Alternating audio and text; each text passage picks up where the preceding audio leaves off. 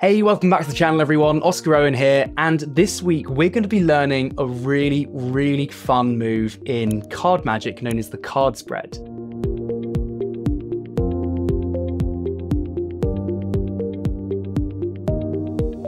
So you guys wanted me to teach this for absolutely ages because I begin all of my magic tricks with this move if I'm doing card magic at the table and it looks really cool. It's one of those amazing effects that people, you know, lose their minds over even though it's not a card trick, it's just a flourish. And the best part about this move is if you follow the steps that I'm going to lay out for you in this video, it's really really easy to do. This is not something that takes you weeks and weeks to learn. You can actually learn this within an hour or two of practice if you just follow what I teach on this video. So speaking of that, to begin this video is going to lay out everything you need to know before you do the card spread. Then it's going to teach you how to do the spread itself.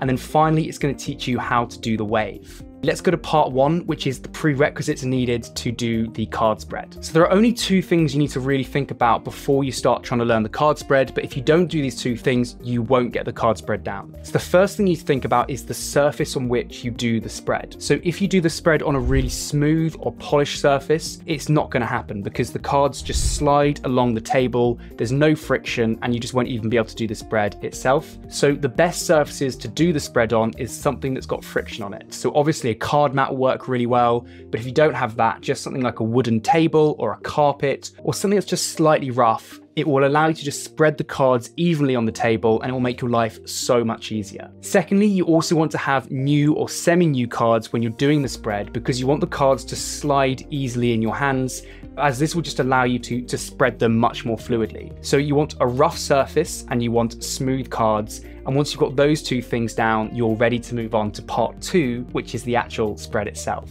Okay, so part two is learning how to do the card spread. So let's jump onto the table and I'll break this move down for you really clearly.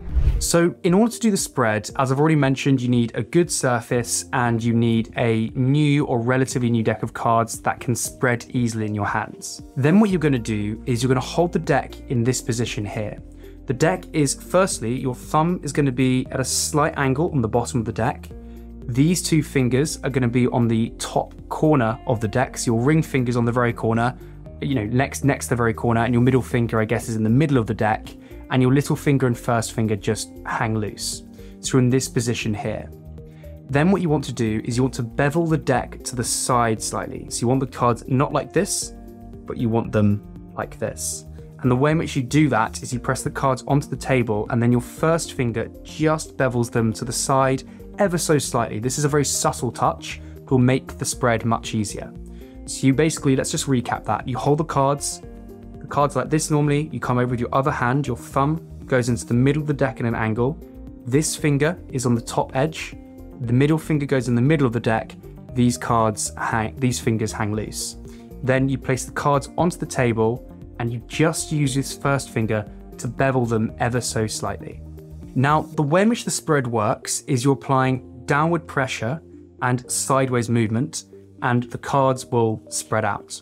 So, if I just take those two principles and don't do the proper grip, but I literally just put the cards here, apply downward pressure and sideways movement, you see I'm still actually getting a card spread. So they're the two fundamental parts that actually make up the card spread, but obviously you want to have control over the cards, which is why we use this grip here. So now let's break down how this spread actually works. So you're in this position, you press the cards down onto the table, and then what's going to happen is all of your palm is going to be applying pressure down onto the packet. So this hand isn't just loose here, it's actually pressing down onto the cards. And that's going to get the first part, which is the downward pressure. Then what's going to happen is your thumb is going to sort of grip the cards. Your thumb isn't isn't loose, but it, it holds the cards this way. Your first finger is curled over the top, and these three fingers are also curled over the side. So I guess in many ways you're still gripping the cards even though they're on the table. So it's not you're putting the cards on the table and you just let loose. You're still gripping them like this, and you're pressing down onto the deck. Then what's going to happen is your hand moves to the side and as you can see, this starts to spread the cards out. So just give that a go a few times. Hold the cards like this. Ooh. Hold the cards in this position as we've gone over earlier. Put them down, you bevel them slightly to the side, you apply pressure down with your hand, and then just drag your hand to the side. Now you'll notice that as I do that, my hand sort of opens up So it's, it's sort of cradled because there's lots of cards. Look at the position here, there's lots of cards. But then as I move my hand to the side, my fingers all flatten. So I'm sort of going from here to here. So try and also include that when you spread the cards to the side. You put the cards down, you spread them out, applying pressure down, and you open up your hand. And that's what's going to start making the card spread. Now, the most important finger in the card spread is your first finger. And the reason for this is it determines how many cards are being let out of the deck to actually make the spread happen. So you'll this is something you can't really teach, it just comes with muscle memory, but I want you to be aware of this, which is as I spread the cards out, if I want them to be really far apart, you feel that with your first finger. So your first finger lets off cards more slowly when you want them to be further apart. So I can do this. You know, I'm, my first finger is letting cards off really slowly. And if I want cards to be close together, my first finger is much more loose and it just opens up. So for now, don't worry about that too much. To begin, what I want you to do is just practice holding the card in this position, bevel the cards, place them onto the table, apply downward pressure, sideways movement, and do this over and over again on the right surface using the right deck, and you'll start to get a spread like this. This, the rest of it then just comes with practice. So just do that over and over again, and you'll then be ready to move on to part two, which is the wave. Very quickly, before I teach you how to do the really cool wave effect with these cards once you've done the spread, I just want to quickly mention that if you want to turn into a true wizard, you can sign up to my free Magic Masterclass by clicking the first link in the description. Inside, I literally teach the same effects that Dynamo does on national television. I'll teach you how to put a thought inside your spectator's head and how to read someone's mind to get reactions like this.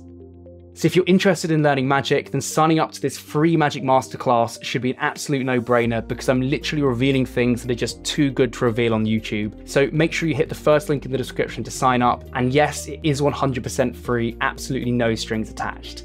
Anyway, let's go to part three and learn how to do the wave. So part three is the wave or the turnover. People call it different things, but I just think it looks awesome. I don't really care what it's called. So let's go to the table and I'll explain how to do it right now. So the good news about the wave, which looks like this, is that it's actually really easy if you've got a half decent card spread. So how does the wave work? Well, basically the wave is very simple. If you've got a consistent card spread where all the cards the same distance away from each other, the wave is really easy to do. The only time a wave doesn't work is when you've got big gaps in the cards like this. You then try and do the wave and you'll notice only half the cards flip over because there's that big gap. So the most important thing before you attempt the wave is you're able to consistently take the cards and spread them out like this, and the gap's pretty consistent. The next way to make the wave easier is the closer the cards are together, the easier the wave will be. Meaning, don't try and learn the wave on a massive spread like that. Instead, just start off doing really tiny spreads and the wave is far less uh, less likely to fall. So do a tiny little spread, maybe just this big, and then now there are no gaps in the cards, and all you're going to do is pick up the very bottom card.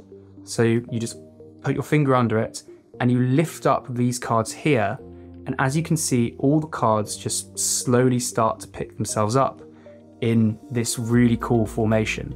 And then you just run your finger along let the cards fall off into your hand and just square them up. So this is what I mean. There's there's actually not much to to really teach in this part because what you see is what you get with a wave. The cards are like this. You pick up the bottom card.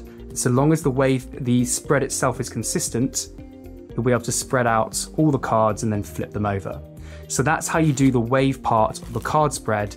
But the most important thing is you focus on getting a really good card spread to begin before you actually attempt the wave. So that's the whole video, guys. Thanks so much for watching. And if you've got any questions, just shoot me a message on Instagram and I'll try and get back to you. Also, make sure you sign up to my free Magic Masterclass by clicking the first link in the description, and I'll see you in the next video.